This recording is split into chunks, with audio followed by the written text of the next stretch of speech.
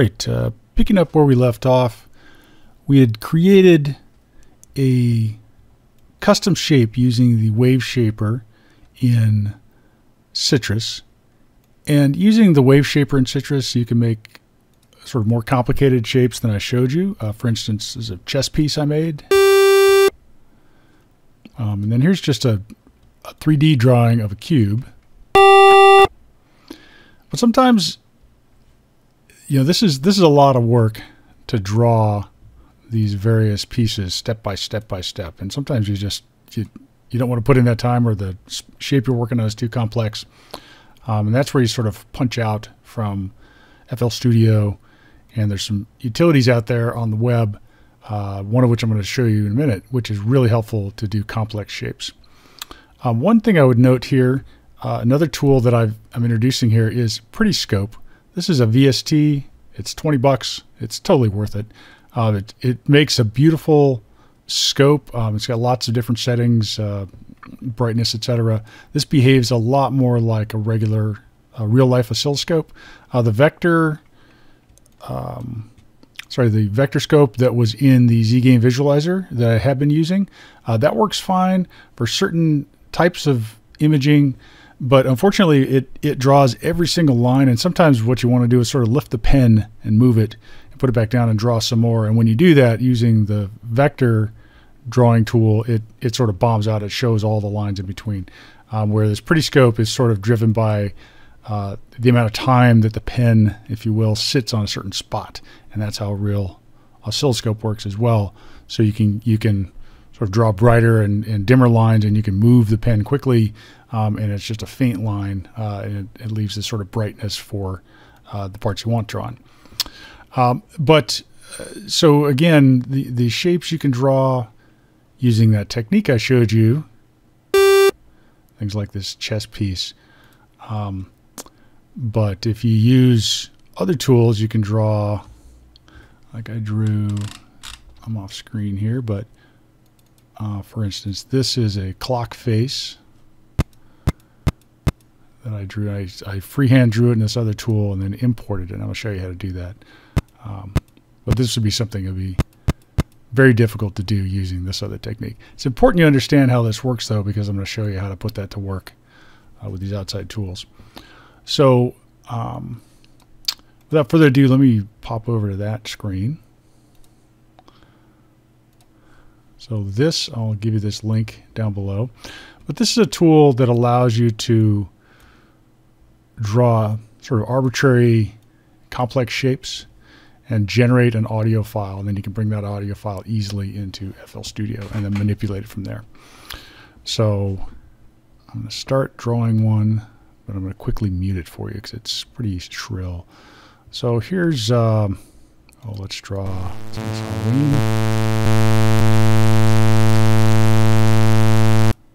Mute that.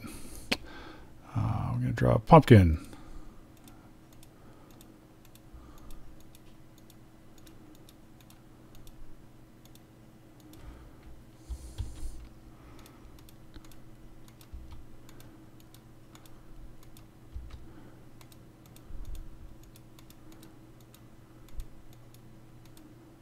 Sort of a Dracula thing. Okay. So, a true artiste, you can tell. Uh, this shape would have been very difficult to draw in this wave shaper tool.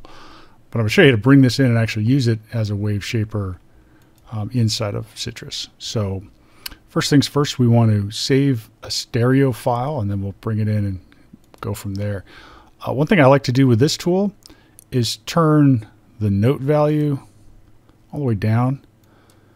And that seems to give me sort of the highest complexity of this shape uh, in terms of dot density. Um, and then it makes it more useful once it gets in.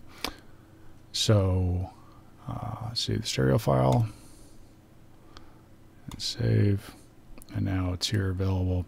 So I'm just going to drag this directly into the FL Studio playlist. I have that on another screen. But essentially, I'm just dragging it and dropping it right on the playlist. Okay, now I'm back in FL Studio. And I'm double clicking to open. Now here's that stereo file it just created. And there's our little pumpkin. And frankly, you can use this in your projects just as is. You could make a, a little beat with pumpkins or something, I suppose. Um, see. Da, da, da.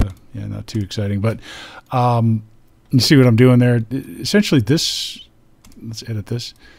This is uh, two different waveforms. One, you know, pan hard left, one pan hard right, and it's creating that pumpkin shape. Now, let's go back to Sytrus though. If we wanted to use this as a as a, just a straight sample, you could. You could play it. It's it's a little clumsy though for making music.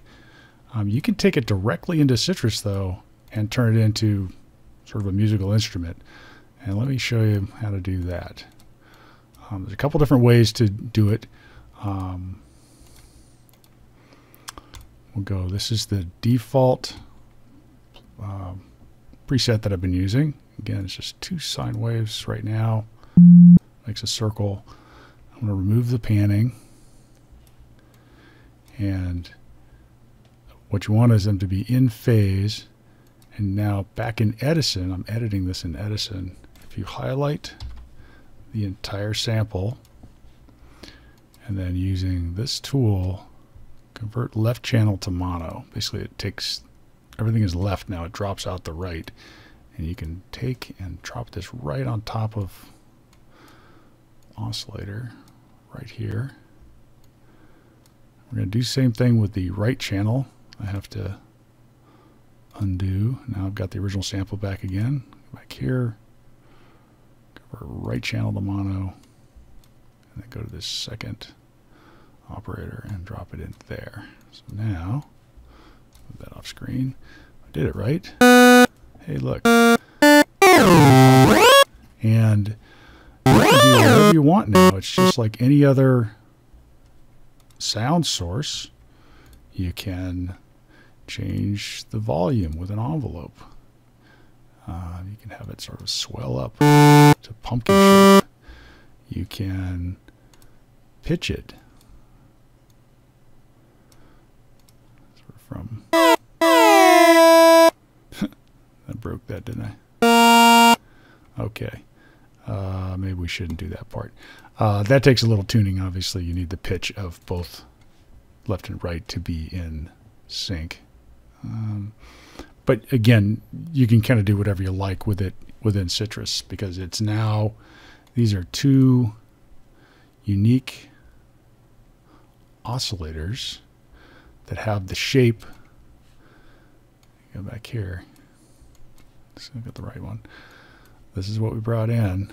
And then there is the sort of custom shape rebuilt um, with all the partials inside of Sytrus. So that's an easy way to take complicated shapes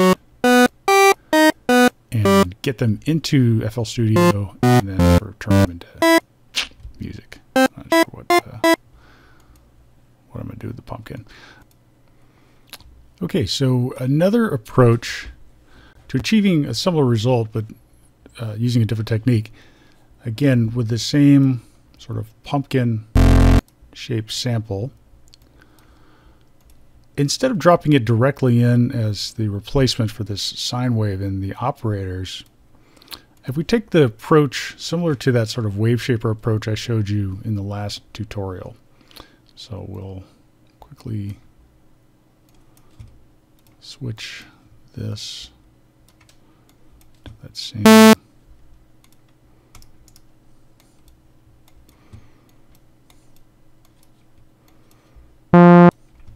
Okay, and then the wave shaper on.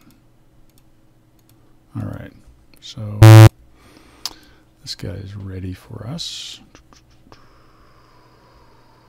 Yeah.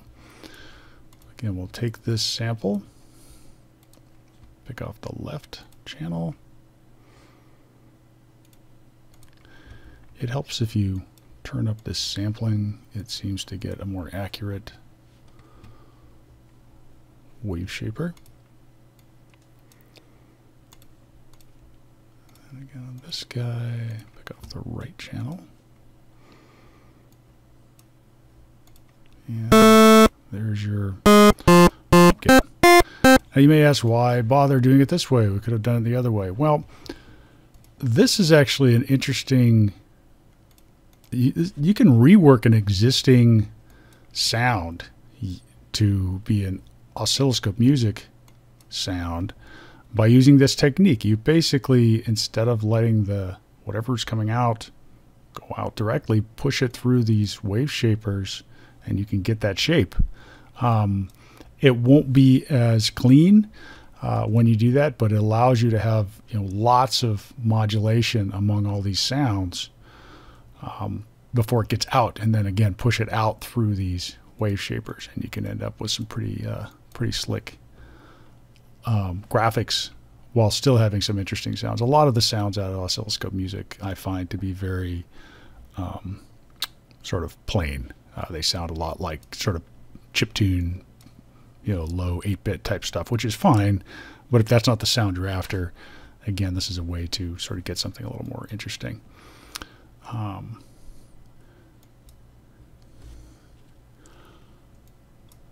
so one other thing to think about is if you have a shape you like, you can always resample it. So here's the pumpkin. If we send it out recorded in Edison,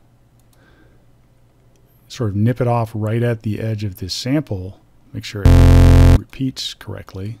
This one's not working correctly right now. Oh, I don't know why. so took out the mod, took out the video. But if you like the shape, you can record it and then go through this exercise again, drop it right back in and essentially resample it back into Sytrus. And that allows you to have a sort of a complex set of routing, creating the shape, and then to simplify it down to just the two oscillators using that first technique I showed you earlier.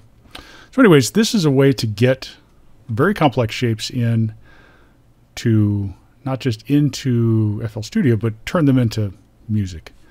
Um, and with that other, you know, with this sort of drawing tool, you can really draw whatever you like here. Um, and know, this is a very complex thing to sort of have to draw by hand out here in the wave shaper, but you can you can get it in using that this approach. Anyways, hope this is helpful. Uh, love to see uh, the folks' uh, projects, uh, and uh, see you next time.